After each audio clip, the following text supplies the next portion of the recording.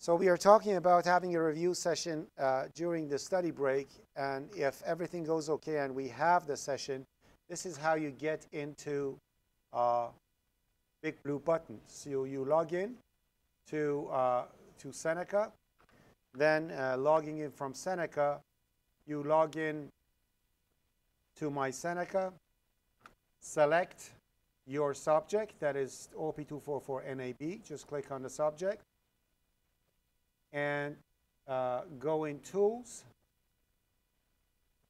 and at right side you see big blue button.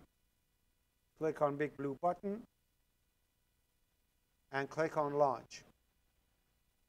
Now, this is mine because I'm the admin. You won't see this, so I'm going to say, I'm going to say over here, uh, study break uh, review session.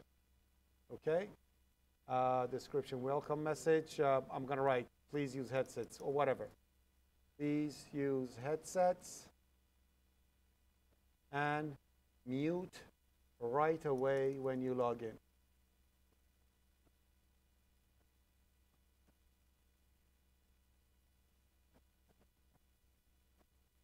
Yeah, when you log in, the microphone is on. Mute yourself because we don't want to hear you chewing gum and doing like that, okay? Mute yourself. When you want to talk, unmute yourself, okay? Um, users, no students must wait until yada, yada, yada. Session in this room may be recorded. Now I'm going to say save. So what you see will be this, okay? And you simply click on join session, and the session begins, okay? And as you see, it just started. Uh, don't ever come in at listen only. I hate that, okay? I want microphone. I want to be able to hear you, okay? And when you do log in uh, with a microphone, then it's going to be an echo test. One, two, one, two, three. Let me see if it's here. One, two. If you hear this, it means you're okay. Then you click on yes, echo comes back in, and now we are in session. Now, if anybody logs in, you will see that you're going to see me with here with the slides and everything. So you're going to see the slides. I can share my screen. I can share uh, my video, mm, and there you go. Where is it? Oh, it's closed. Voila. Okay. So you can, uh, yeah. Of course. What do you mean by anybody? Oh, for um, I asked for it. Um, they didn't let us. It is only for lectures, sadly. Only I can start it. And by the way, use this with pride students at Seneca College has lots of code in this program. Um, I have, I had, it was actually my project, and we had many students of ours have lots of code in this thing. So use it with pride. This is uh, one of the things that Seneca uh, uh, contributed a lot. Anyways, so I'm gonna log off, log out. Okay, and it goes out. So. Uh, but you can always go to demo uh, at bigbluebutton.org and open a session and invite other people to get in, and you'll be okay. If you have any friends who want to log in, you have to let me know. I have to send them a link. I, people can only come in through their session, okay? I can have guests, but if, if anybody wants to come in, you have to let me know so I can send them a, a link. So, shall we uh, start our uh, session? Any more questions? So last time, to demonstrate all the things we have done, I created a string and I went through it and we did uh, whatever we did with the, uh, with the class string. So it's the class string actually, what it did, it uh, we planned it so it can replace the string that we have, the, the, the C string that we have with null termination and stuff. We don't want to be worried about it. So we created this so we can actually do our, make all the dirty work behind the scene in our object so we don't have to worry about it anymore. Anytime I want to have a name, I don't have to size it properly and do everything. So this sizes itself uh, automatically to whatever the user enters. So it's a, um, a pretty cool thing. The string of mine has a no argument uh, default constructor. we had a constructor, one argument constructor that accepts a C-style string and creates my string, dynamically allocates memory for the, to the size of that one. So let's actually take a look at it. I'm going to split the window. First, let me open the second one. So I'm going to open uh, string.cpp, split the two, so I can actually see what I'm doing in here. Um, so for this constructor, if I right click and go to definition, it's going to show it to me. So as you see, I am setting the, the string to empty, which means it, it sets every, it sets the null uh, uh, the, the data pointer uh, to null and the size to zero. And uh, I'm checking to see if any string is provided to me, which this essentially means uh, as if I'm saying if str is not equal to null ptr. But because we know, but because we know null means false and anything other than zero, null, means true, I don't need to write not equal to null pointer. It's redundant. Therefore, I'm saying if string is not null, then set my object to string. How do I set it? First, I free the memory. Free memory over here in a constructor is a dummy thing to do because there is no memory to free. It is a brand new object that I'm creating. It's the constructor. Well, because I want to reuse my code, it doesn't matter if it's called. Free memory essentially what it does, and to see what it does, right-click over it and go to go to definition. If I look at free memory, it deletes the data. Because the data is set to null using set empty, nothing's going to happen. And then it sets it. So as you see, it sets the object to empty over here, right? So it would have been nice to reuse the code. So I'm going to say over here, set empty. I'm not going to uh, write the code that is getting uh, recalled. So it deletes the data uh, and sets the object to empty. But because set empty was called before that, that delete data won't do anything. So essentially, free memory, when set is called in a constructor, will not do anything. After free memory, it measures the size of data that I want to actually set and keeps it in the size of the object. So the size of the object will be set to the length of the data. Because this is a C-style string, I'm adding 1 to it. If it was an integer array, I wouldn't do anything. I wouldn't add 1 to it.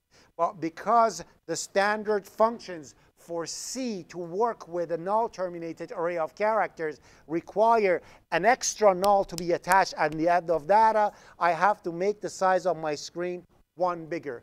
That's 90% of you guys crashing your programs, not adding that plus one over there. Okay? And so, uh, so I add one to the size, and I allocate enough memory for the data. Then I copy all the data from the string into mdata using string copy. So now my string has a copy of what was sent in dynamically exactly to the size that it wants, and it can keep track of the size too, and it's created. And that was the uh, single argument constructor. For the copy constructor, why do we create copy constructor? Because we know that when objects in C language, C++ language, uh, talking about it last uh, session. Every time you pass a value by, uh, you pass an object by value. At any moment that you pass an object by value to a function, or you pass an object by value through a return statement, C++ creates a copy out of it. And creation of copy will cause a crash.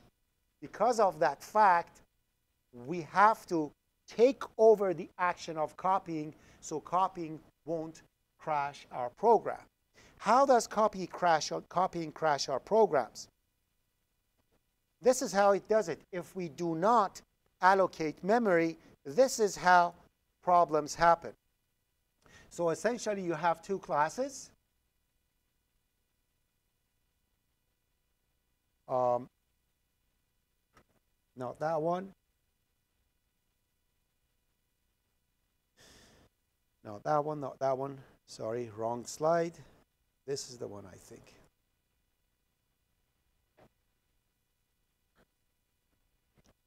I'm going to go for good copying, and then I'm going to tell you what's going to happen if it's bad. So whenever you are passing a data by value, a copy constructor is called, which the case is this. So if I just copy everything directly from one to another, if I just copy everything from one to another, which means if I, if I just get the content of A and put it in B, then A and P are, B are going to point to the same place. So they are going to share the data. And because of that fact, when they are both getting deallocated, they try to deallocate the same memory twice. And that causes a crash at exit. So if your program runs perfectly, but right at the end, when program ends, it gives you a segmentation fault, usually that is the case. Because of this fact, when I actually copy something, when I have a class, then the second class is copying as you see like this. As you see, it copies like this. Or I, I assign at the moment of creation that is a constructor again. This is what I have to do. First, I have to measure the size of the other object. So essentially, I have to say, get the size of that one and allocate enough memory, keep the address in the new one. Then one by one, copy everything from the old, one to the new one. In this case, I'm not having a string, so I don't have that plus one at the end. It's just an array of data. And then after everything got copied to the new one, I, I bring, that, bring out the new size.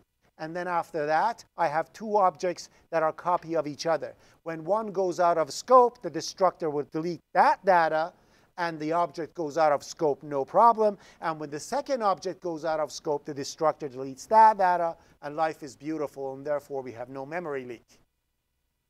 But when we do have memory leak, the problem is that when we do bad copying, what happens is that what happens is that everything one by one will get copied, but no copying will happen really. Therefore, two objects will point to the same place. This memory leak that you see will not happen in case of copying. This is assignment, as you see. This is not copying, which means object B already existed with its own, with its own memory. In copying, you create a new object right at the moment of creation, you need to copy the data. So therefore, this one doesn't have any type of properties. So this memory leak will not happen in copy copying. But when the object goes out, out of scope, then the, the second one remains without any value, and when the second one goes, that's when the structure crashes. And that's what we actually have a, a problem with. So to prevent that problem, we do the copying the way I mentioned it to you. So we actually say set empty. We do it exactly like a regular constructor, but instead of bringing the data in, we use the other object's data to do whatever we are doing. So as you see, it works the exact same way. The only difference is that it copies the data of another object and therefore becomes a copy of that object and that's how my string works. And I have to make sure that when the object goes out of uh, uh, scope and it gets destroyed, the memory I requested for it manually actually gets destroyed and that's what you see over here. I free the memory. Lots of people, after freeing the memory, they actually set the object to empty, okay, as a habit. As a habit, it's good. Yes, whenever you deallocate memory, you have to set the pointers to null. That's the rule that we have to follow, not to have memory leak. But when we, well, putting it over there, setting it free after that, it just doesn't make sense. The reason is that Again, when you want to throw something away, you don't need to wash it up. Okay? The object is dying, so you don't need to clean it up after. But at any other time, you should. the set function, we have seen what it is. The print simply prints it out. Uh, the is empty tells us if it's empty or not. So essentially it tells us if the data is null or the size is zero. If any of these two, it means my object is empty and it has nothing. Um, int size tells me what is the size safely with a const. So therefore, this is the problem that you might have over here, my friend, that you said that uh, I couldn't call the function. Any function that you're calling, uh, you got to make sure that that function follows its logic. My uh, size is supposed to tell me what is the size of the object. It is not supposed to change the object. Therefore, I need to have uh, that mentioned in my code telling that it's a constant value and it won't delete it. It, it won't uh, modify it. And the same thing with is empty. But for example, set cannot be constant because it actually changes the object. All right? And uh, then we talked about operators. We said when we are dealing with operators, operators are essentially functions that we simply uh, uh, give it a operator name. That's what we call uh, an operator overload. So creating an operator overload, we mentioned, happens in a uh, few different ways.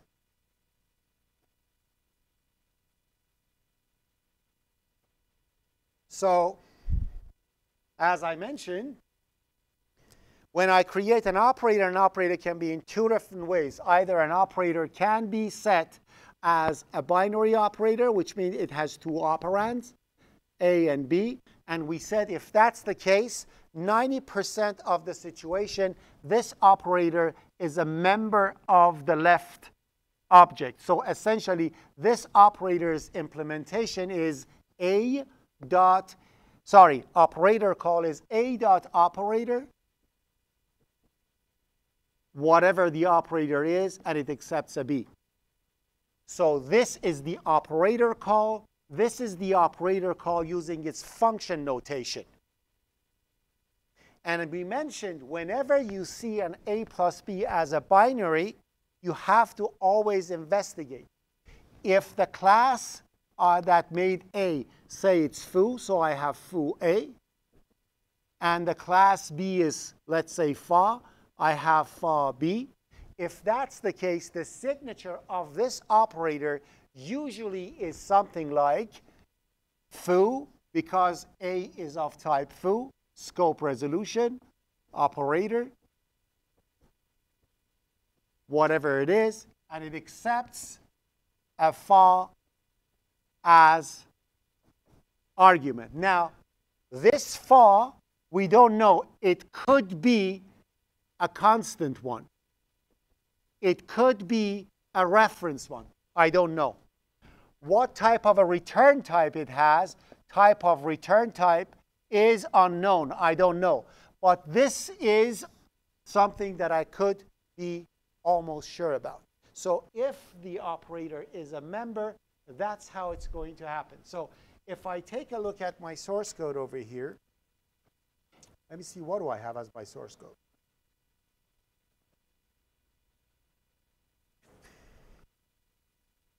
So if I want to compare two strings, so I have S and T, and I want to see which one is coming first in the in uh, the dictionary. I have to say if S is greater than T, then else, okay? So, and then I can actually see, so whatever in here.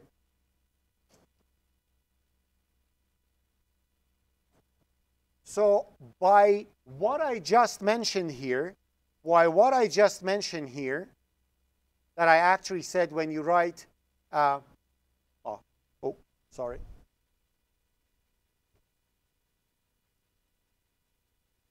There you go, that's better.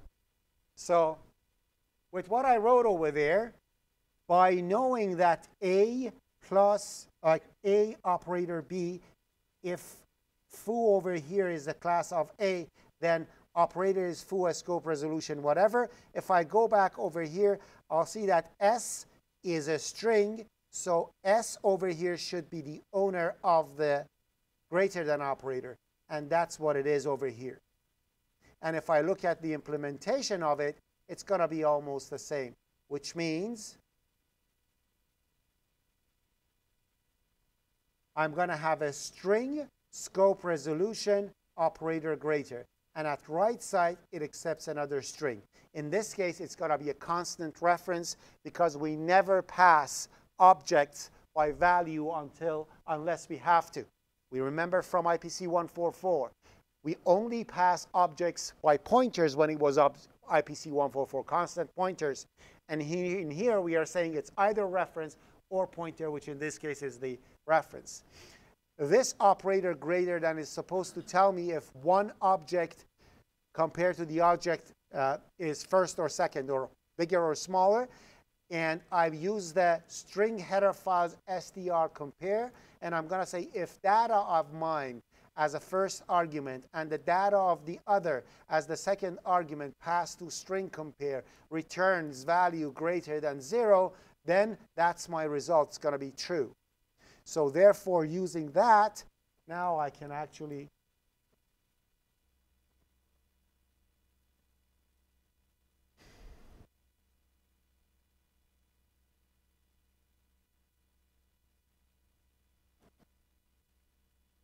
I'm going to say C out. Um,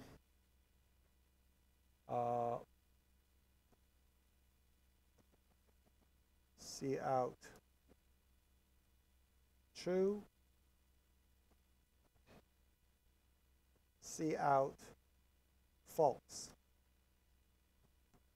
And running this application, uh, this program, I got errors. Oopsie. Okay, what are my errors? I should have compiled it before I ran it. Let me, let me pause it. This calls the constructor with one argument. Assignment at the moment of creation is a constructor. So it goes to the constructor, calls the constructor. STR becomes high, sets the object to empty. STR is not null, therefore it comes and sets the object to the value. How does it set it? It first frees the memory. Well, because it's a class that is just created, there is nothing to delete. It's null. So it's not going to do anything. Comes out, gets the length of data that is high and puts it in size. So size becomes 2. Allocates 3 bytes of memory that is the exact same size that I want and puts the address in mdata. Now copies everything from high to from data into the data of the object, and therefore the object is now pointing to uh, high. So if I look at S, you'll see that S has high, and the size is 2. The exact same thing happens with hello. So if I look at T now, you will see that T has hello with a space at the beginning and 6 as size. Now it says, is S greater than T? So it comes over here and sets the result as false. It says if, it's, if neither of these two are empty, okay, then come over here and do the comparison. Actually, if they are both empty, then it should be equal, aren't they? See, we have a bug over here, but it's okay. Well, anyways, so res uh, uh, is false. Now it does a string compare between m data high and this one hello with the space at the beginning and the result will be true, which means high is greater. It comes next in, in dictionary. Okay, whichever is smaller that comes first, right? And returns that one, so therefore true is called. Okay, so it is so it, the first part of the if statement happens. So essentially, as you see, I can define vari uh, operators to deal with my string as if it's regular object. Okay? And the same thing happens uh, with the rest of the stuff. So assignment operator is another uh, important thing uh, for you when you are actually uh, designing a class uh, with dynamic memory allocation. So there are two uh, things that you have to always implement if you have if you have a class with dynamic memory allocation. Two things. Number one, copy constructor to make sure everything is copied properly with no leakage, which is this one. The second thing that is a must, let me actually bring it down, is the assignment operator. So when two objects, so when two objects are being set to each other or being copying from each other, they won't crash. And therefore your program, your class will work properly. These are two important things. If you have dynamic memory allocation, I want you to listen to me carefully, okay? Attention here. This is new thing. You don't know. It was reviewed down to this point. This is a new concept. If you create a class with dynamic memory allocation, and you know that this class is never supposed to get copied or assigned to another class, like cout. cout is an object, right? I should not be able to copy cout because cout is my console. You can't have two consoles at the same time. It's a unique thing if you have a class that has dynamic memory allocation and you want to enforce the class not to get copied or assigned to another class, this is what you can do. So if I wanted my string not to get copied, this is what I have to do. You have to write the signature for the assignment and the copy constructor. Oh, what did I do? Just a second.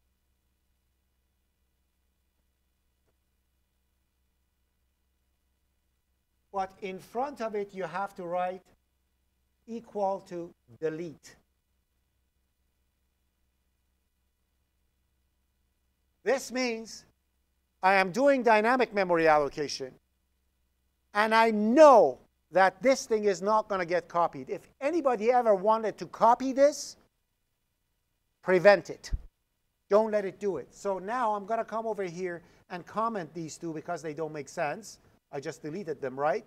So let me comment them. Okay? Now you see in here I'm passing s to print, and it's being passed by value, so it has to get copied, right? Now take a look. If I actually compile it, it's going to tell me at where is it? Uh, attempting to reference a deleted function. You see that? So it literally prevents you to copy the object. Okay? And that's something that you need to know. So if you wanted to prevent copy or assignment and therefore a memory leakage because your object is not, it's a, it's a unique thing and it's not supposed to get copied, that's how you prevent it. Let me bring it back. I don't want to prevent this. We are, we are copying the thing all the time, so I'm going to let it be.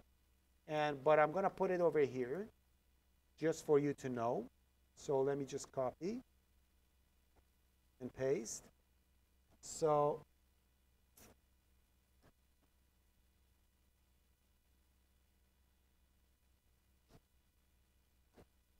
I'm going to say do the following to prevent copying an assignment.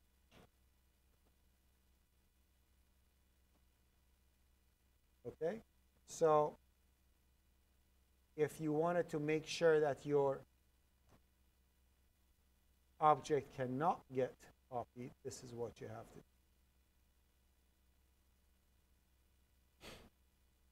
Are we okay? Are we okay?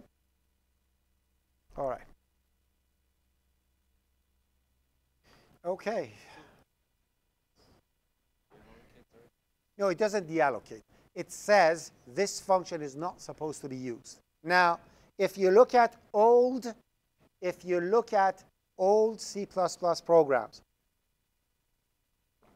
that delete is relatively new thing if you look at old C++ programs, to prevent the same thing, what they did, they created empty copy constructors and operator assignment functions, and they put it in the private section of the object. Because there were no delete, they put it in private section. When it's private, it means no one can call it, right? If you can't call it, you can't copy it. So that used to be the old way. So you may see implementations like that, okay? That you see there is an empty assignment and it's an empty copy constructor and the prototype is in the private part. Why they did that? Because they didn't want you to copy it. So keep that in mind too.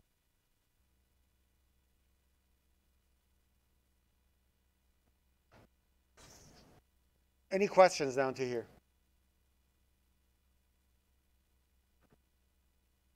All right, I have an error here. What? Oh. All right. Uh, so just to understand what's happening over here, A, B, C, D, E, F. If I run this program,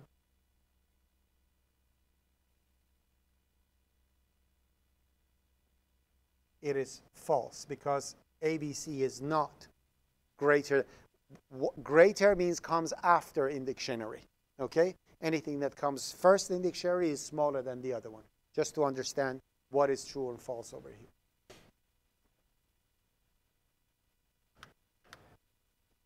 The next thing we have done over here was to concatenate one string to another. Add one to the end of the other one. And if I wanted to do that, I have to make sure that I understand how a memory is resized. So essentially, resizing a memory is to do something like this. To resize the memory, you have the old value that is pointing to a piece of memory. Then you see what is the new size that you want to actually take care of. How much, like it could be bigger or smaller. So I want to, in this case, I'm making it bigger. So what you do, you allocate in a temporary pointer of the same type the amount of required memory that you have. Then you copy everything from the old one to the new one. So now you have a copy of what you had. If you are shrinking the memory, then you're going to truncate. Uh, sorry, you're going to uh, uh, uh, crop the thing and cut it short. So half of the data will be copied. There is no other way. If you're shrinking it, that's what's going to happen. In this case, I'm making it bigger. And then after that, after everything is copied, you delete the old data because now you have the new one, so there is no, there is no need for the old data. You have a copy of it. After the copying is done, what you do, uh, uh, you make sure that the size that you have is updated to the new size. So it was 7, now you're making it 14. And you make sure that the, that the main pointer that is supposed to point the data points to newly allocated memory, and therefore you're going to have a new size. Okay? That's exactly what we have done in here when we wanted to do plus equal. So if you look at the logic for plus equal, Again, if I want to see where the function is, right-click over it and say go to definition. It brings you the definition of, oh, sorry, I put it in the wrong one. Uh, where is it? All right. So what I did first, if I am adding one string after another one, I have to get the size of both and add one for null termination and that's my temp memory. Then I copy the old data from the first one to the beginning of the data, and the rest I concatenate after. Now that all the data is copied in the newly allocated memory, I delete the old one. I'll make sure that my main data pointer points where the newly allocated memory is. I update the size, and I'm done. And like this, I can actually concatenate values. So I can actually say over here S plus equal T. And if I print S now, it's going to be A, B, C, D, E, F. So essentially, it's going to uh, concatenate both of them in a uh, new piece of string. All right? Uh, assignment operator, we've already uh, talked about it. We went through it, so walk through it to see how it's done. Um, and uh, we talked about friends. We said that uh, when you, uh, sometimes you need to write helper functions. When you're writing a helper function, helper functions are those that actually uh, help you do something with a function that you cannot do it with a member function. Helper functions are standalone functions, but if we want the helper functions to have access to the properties of the class, we can make that helper function a friend, which I mentioned it's a very bad thing to do. You have to do the friends only if you're absolutely have to do it and there is no other way. In my experience, whenever you are making something a friend, it's just because you're lazy you can simply create a method that properly accesses the data that that function needs, and therefore you don't need to create a function of friend. But for learning purposes, we're going to ask you to do it. So you're going to do it because you are trying to learn the syntax. You are not supposed to really do it. Uh, and we created a function called add2. So essentially, add2 is doing what plus equal is doing, but in an awful way. And uh, uh, we made that uh, add to a friend of a function. So it's essentially the same thing. If you look at add to, it is doing exactly what the other one does. But because we want it to have access to the string, that's what we have done. And that's what we call a helper function. And now you're going to go for a break and come back and we're going to finalize operator over overloading. Okay? Break. For this one, I want to give you the example in a very simple class with uh, overloading examples, and then we're going to talk about uh, um, the helper functions that um, can do uh, more. Okay? So um, this is a class that encapsulates an integer. Why? Because I want to have an integer that works better than regular integer that, they, that we have. We could do that. We could actually set over here limits for it to make sure when we are reading it actually reads it, reads it within limits. And we can do lots of good stuff with an integer that you always wanted to do and you can't do it with, do it with a primitive integer. Okay? So if you want to do that, you can actually create a class called int. So as you see, it has a constructor called uh, uh, for, for value. So I can essentially say over here uh, int. Uh, I can say int i set to 10. And this will actually call this constructor and pass 10 to the value. And 10 will be passed to set. And set will make the value 10. Then I can say over here cout uh, i dot get. And this is going to show me what I have uh, in the eye. Okay? So if I actually run this program step by step, oh, we went to what? Stop. Sorry.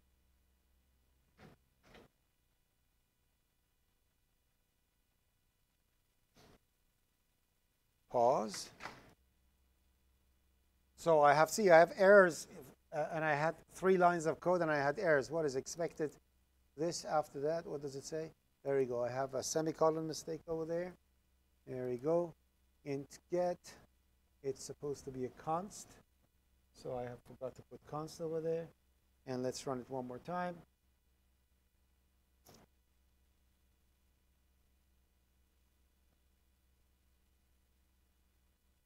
Oh, and I forget I'm passing an integer for some unknown reason. When you do something in Rush, this is what happens. Okay. All right. It's just uh, muscle memory. All right. One more time. Hopefully, third time's the charm. There you go. So, assignment at the moment of creation is a constructor. So it goes to the constructor, passes the 10, sets the value to 10, comes out, get comes over here, returns the 10, and 10 is printed, and we have 10 over here. Right? Simple as that. Now, I don't like it. I want to be able to do this.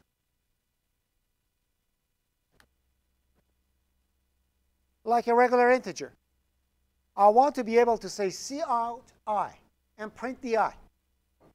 Okay? How can I do that? How can I actually read the I like that? Okay? I have to identify what kind of operator overload I need over here. Now, the operator overload I have over here, first of all, I know what is the name of the operator. It's the insertion operator or left shift operator. So the name of the operator is operator like that. So that's the name of the operator that I have to overload.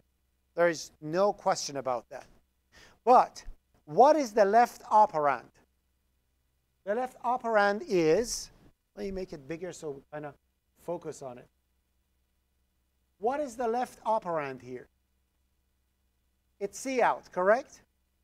C out is an instance of which class? I stream or O stream output, right? O stream. Now, do I have access to O stream class to go add a function to it? No. Because I don't have access to that function, to that uh, class, I have to write a helper function. There is no other way.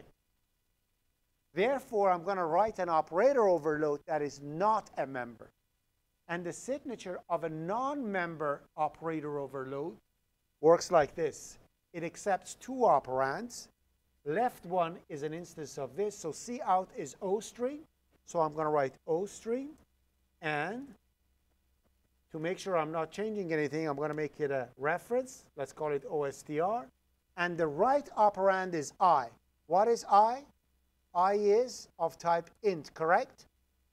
So I'm going to make the right one I. So it's going to be int right operand, let's call it. Now, this int right operand, first of all, we know that we never, ever pass a class by value. So I'm going to make it a reference. That's number one. Number two, am I changing this in any way? I'm not changing it. It has to be constant. I'm just printing it, right? It has to be constant. And what does it return? What does this up? So when this action is done, when this blue part is done, what should be left behind? Integer, right? You're saying integer. If it's an integer, let's say 4. 4 and L, does it make sense anything? No, so it can't be an integer. What should be at left side? So when that operator is done, what should be left behind so the end also should get continue to get printed? Huh? No. If you want to just go to new line, what do you write? No, no. Give me a statement with a semicolon in C++, just printing a new line. What does it do? It's end L. But how do you write that end? Seriously? Okay, this is your quiz. Write a statement in this main that goes to new line only. So what do I write in here? I write C out and L, correct? That goes to new line, right? Now let's go back. Now, when this is done, what should be left behind for that end L to happen? C out. It should return a C out. What is the type of C out? O stream. So operator should return an O stream so the chain reaction of, of printing can continue and we always return a reference it has to return the O stream. Which O stream? The one that it received. so it's as easy as that. Return OSTR, and we are done. Now, in here, I have to somehow print this right operand. If I do that, good job, I'm done. So how do I do that? In here, first of all, OSTR is a new name for C out in there, right? Because it's the C. So C out goes to OSTR. OSTR is C out. Therefore, in here, I should be able to say OSTR RO dot get.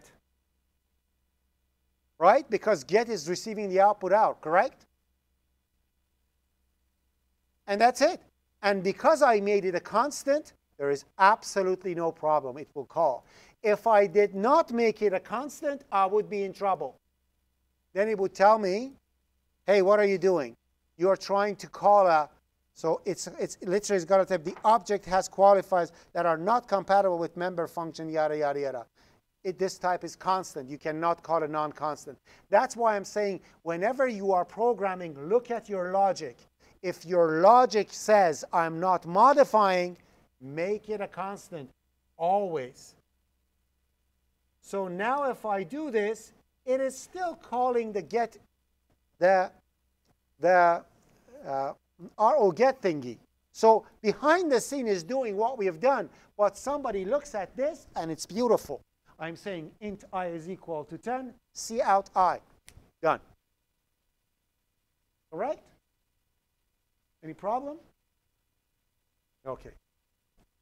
But this is not the standard way of printing it. When you are, this was just showing you how to create a helper function. That's a helper function. And it's a beautiful one because it's not a friend. In here, I'm using a getter to get the value out. But what if in here I had three things that I had to print? At names and stuff like that. And I had to left justify, right? Do stuff like, if I want to do something like that, how do I do it? The best way to do something like this, and this is a standard thing that you need to learn to do, always have a print function for a class that you want to print with cout. And this function should have the signature that I tell you. Memorize this for now. You don't need to understand it perfectly. Memorize it. The function, call it something that makes sense. So don't call this one hee-haw. Type it, call it print, because the job is print. Print, write, anything that implies that this function prints this object. So I'm going to say print. Make sure this object returns O stream and make sure this function receives an O stream reference and default the value of that to C out. Which means if somebody just calls print, by default it's going to put C out for it. So they could choose to print the class with just the print method instead of putting it in C out. Okay? So that's something that you need to memorize. Okay? Print receives an O stream, returns an O stream, and defaults the O stream to cout. And then implement it. So you literally say O stream, print, O stream, OSTR, and it belongs to int, correct? Now use the OSTR to print whatever you want to print. So I want to print the value, right? So I'm going to say OSTR va m value. I'm printing m value, right? And after OSTR is returned, I'm just going to return it out. That works perfectly, right? It first prints it and then returns the OSTR out. So it receives the OSTR, prints it, and then sends it out. Now, put this function in your helper and pass the C out through it, which means in here, instead of writing get, instead of writing these two lines, oh, See, I made a huge boo-boo. What's my mistake here?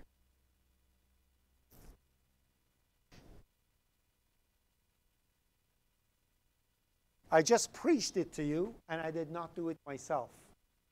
I said, pardon me? Huh? The constant. I say, look at your logic. If your function is not supposed to change your object, make it a constant. And I didn't do it myself. Bad boy I am. It's printing, right? It's not reading anything. So what I'm going to do over here is this. I'm going to say, okay, this is a constant. Thank you very much. And this is a constant. Thank you very much. And now I can call this in my operator overload. Now I can simply say return RO dot print and pass the OSTR to it. So your cout passes through your print statement. And that's very important. I cannot explain to you why. Trust me on this. It is very important for the OSTR to pass through your uh, print statement. Later on at the end of the semester, you've got to say, wow, okay, now I know why. Okay, but for now, memorize this. Now, using this memorization, I can literally do cin too. Make it to be readable by cin. It's the exact same thing. I simply say I stream reference. Of course, I'm not going to call it print. I'm going to call it read. I stream ISTR sets to cin. Of course, this is not a constant function. It is changing the value of my class. All I need to do is to implement that. So I'm going to say I stream reference int read istream istr and I'm going to read use istream as if it is cin. So what I'm going to say is istr read into m value and just return it. Now if I go back in here, I can literally copy this because I'm lazy, paste it. It's the exact same thing. iStream operator, this one is uh, right shift. Again, iStream, ISTR, it is not a constant, and it is the reference. So now in here, I'm going to say RO, read, and I'm going to pass ISTR to it.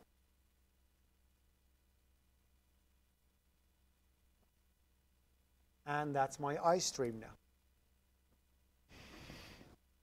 I just overloaded. So now I can actually do this. See out, please enter an integer. Now I can say cin into i. Then I can say the number you entered is i. And as you see, that integer is not actually an integer. It's the class I created. But it acts exactly like a regular integer.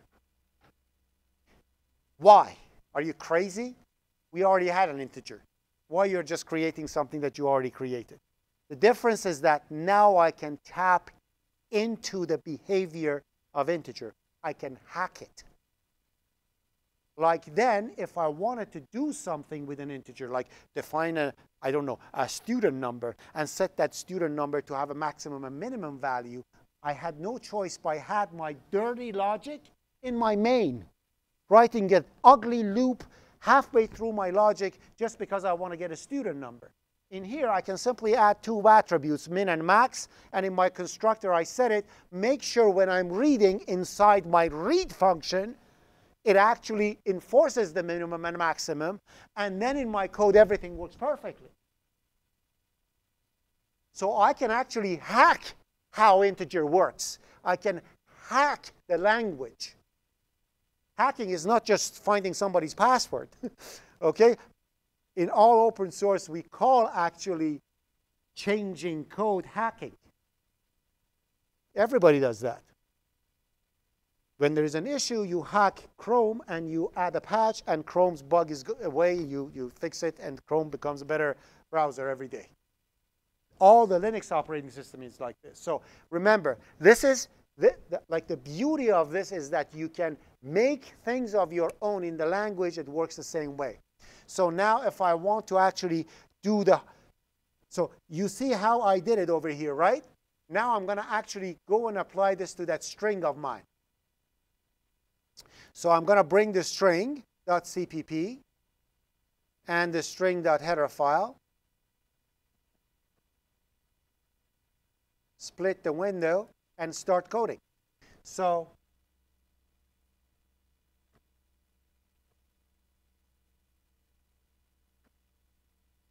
Uh, can I remove that add to? It's ugly sitting over there. It's like, ah. Okay, I want to take that friend thingy out over there. I don't want to look at it. Okay, it's a bad thing. I don't want it. Okay, so add to is going to go away. We know what uh, uh, uh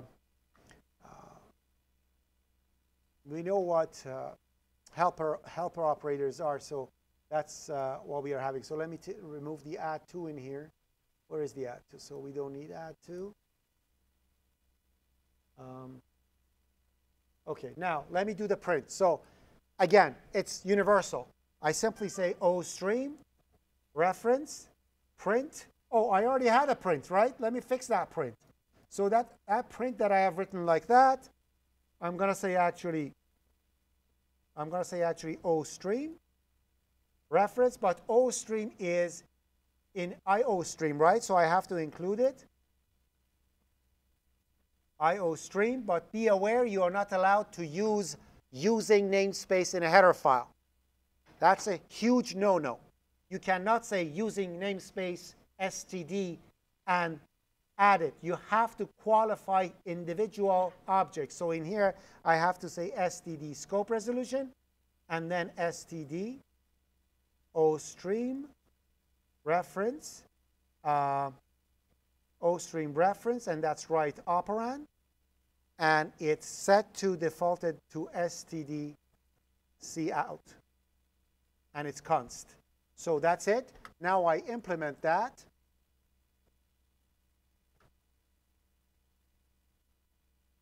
Right over here. So, so it's going to be the strings print now, string print. And instead of saying see out, all I need to do over here, why is it giving me an error? Oh, because I have that, I don't need to have it. And I have a semicolon, I don't need to have it. There we go. So now in here, instead of see out, I'm going to use, uh, what did I do? Yeah, so in here, I'm going to use, uh, like, let's call it OSTR. OSTR. So it's OSTR that is printed, printing it, and I'm going to return it. Return OSTR. And now I can actually create the uh, operator signature. At left side, it receives an O stream and at right side it receives uh, the string as right operand. It is an std, I have to mention over here std because it's in a header file. And why it's, oh, um, and it has to be in the namespace, so I'm going to take it out, x. It's going to be in my namespace. My apologies, I put it at the wrong place. And there you go. That's my operator overload. I'm going to copy it and put it right over here at the bottom. Oh, I already have it. Oh, it's already done over here. So all I need to do is to call the, the, the print properly. So that's right operand. And in here, instead of saying OS, I'm going to say return ro.print, and I'm going to pass o, OS to it. And we're done. So now my string can get printed using cout perfectly. If I want to do it with cin, the process is exactly the same, but with cin is a little more difficult. You'll see it. The read is a little more difficult. Read, uh, it's istream. And then istring again, istring again, istring, set to cin by default. And it is not a constant. Okay, so, oh, that's O stream, it's istream. So that's the signature of my function. Okay, now let's write the read function. Read function is not as easy. So pay attention. It's a member of string. Okay. If I want to read from the string, how I want the string to be read. I want to accept backslash n, I want to accept new line, or I want to, I want to uh, accept uh, space as data, or I want to stop at space. If I want to accept it as data, because you know when you cin a string, when it's space, it stops, right? I don't want that. I want when people enter space, I want it to accept it. So let's do that. So in here, instead of reading like that, first of all, I cannot read into m value in here. I cannot read into m data in here because m data is dynamic. I don't know how long it is. So I have to get this big temporary character string. I don't think anybody's going to enter more than 20,000, uh, sorry, 2,000 characters, right? So in here, I'm going to say character temp 2000. Okay? So that's 2002K uh, bytes of data that I put over there in that one. Now I want to read it using, oh, uh, the default value over here is not supposed to be. So I want to get it using cin, but I want to accept, but I want to accept uh, uh, I want to accept space as data. I don't want it to be my delimiter. So I use the function getLine. GetLine works like this. It's, it, it's a member of istream, so I'll go istr dot getLine. And in here, I'm going to say put it in temp. The count is 2048. And I want you to stop at backslash n. Okay? As simple as that. So now it reads it. Now, uh, now in here, I'm going to check if ISTR fails, it means they entered more than 20,000, 2,000 characters. The heck with it. I don't want anything more than that. I want to delete the rest of it. So I'm just going to wipe the rest off. I'm going to flush it. Okay? How do I flush it? I'm going to say ISTR dot ignore 10,000 characters or new line, whichever comes first. So that's flush keyboard. But I can't do it. If it fails, first I have to say I acknowledge that you failed. So cin, as we mentioned before, is a very shy object. If it fails, you have to acknowledge and apologize. Sorry, I know we did a stupid thing. Please, my apologies. Nothing between us. Let's clear our uh, bad things. So we clear everything. Then we say ignore everything right down to backslash n. If it doesn't fail, it means it read everything and life is beautiful. And now, after that, I'm going to say, now that I have the value in temp, I'm going to say set to temp because I already have the function for it, right? It's going to deallocate the memory, allocate the memory, set the function, set it to the temp value and everything. So it's going to set it. We've already done it. How does set work? Where's set? It's going to free the memory, get the length, allocate the memory, copy everything in here. So life is beautiful. It's going to set everything for me perfectly. Then, after the set is done, I'm going to say return the istring. So as you see, I hack into read, and now I can simply say over here with no problem, I can simply say, not in here, this is for the other one. Let me bring the string main, so let me remove this. remove, remove, add, existing item, string main. So now in here with peace of mind, I can say cout.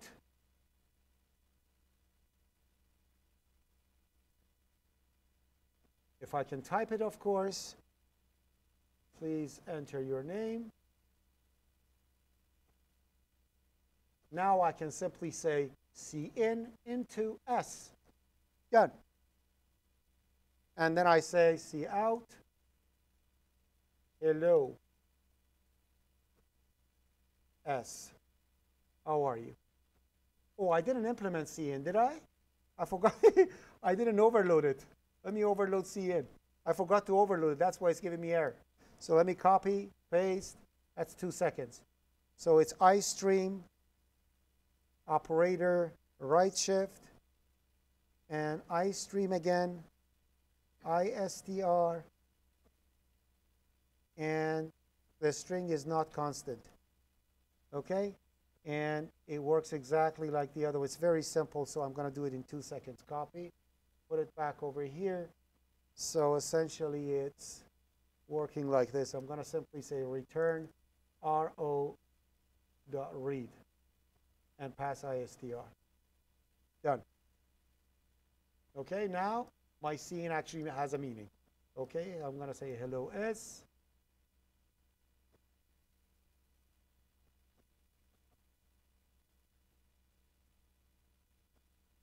How are you? Okay, now it's actually going to get the S for me and do whatever is needed and make everything work perfectly. So if I, oh, wrong, wrong button to play. Oh, just a second. Sorry, Control F5. So enter your name. Now I can actually write over here, Fardad, sewing handle, and I hit enter, and I say, so now my string is getting everything perfectly that was supposed to, and uh, um, uh, I can use it for whatever I want. Now you see this concatenate thingy over here that I have written that concatenates two strings and return one. Change that to another helper function called plus. So, so you can actually have so you can actually have string first name